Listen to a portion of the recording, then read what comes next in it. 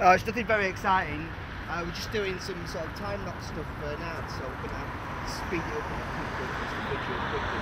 Oh, yeah. It'll be good, eh? Ed. I'm Uh, going to watch it. Uh, Johnny, some stuff for BT we're doing. BT. Yeah, it's all about business and stuff, so we're getting all the stuff. We're going to be looking for BT. All right then. Don't get us on time, eh? All right.